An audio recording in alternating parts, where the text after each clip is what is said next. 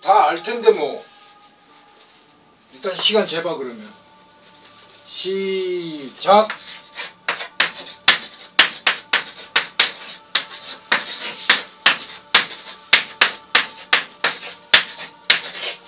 맞지?